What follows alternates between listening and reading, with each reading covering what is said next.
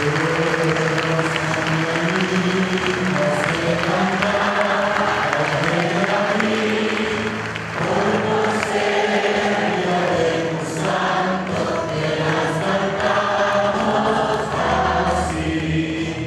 Anoche, al unísono, cientos de fieles católicos veneraron y cantaron las tradicionales mañanitas a la Reina de México y Emperatriz de América, a la Virgen de Guadalupe, en un templo que lució lleno de fe, esperanza y alegría.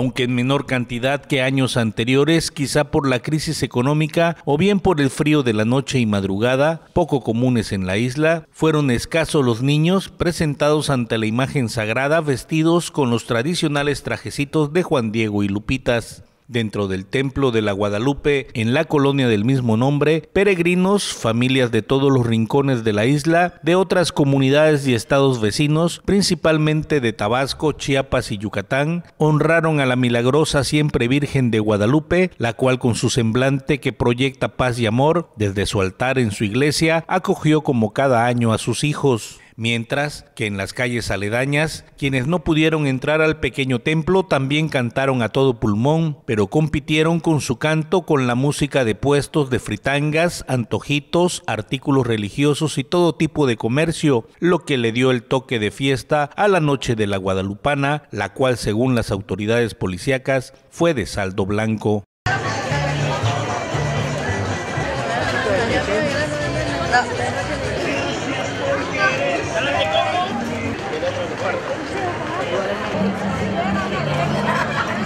Edición de Fabián Orozco, José Fuentes Santos, Telemar Carmen.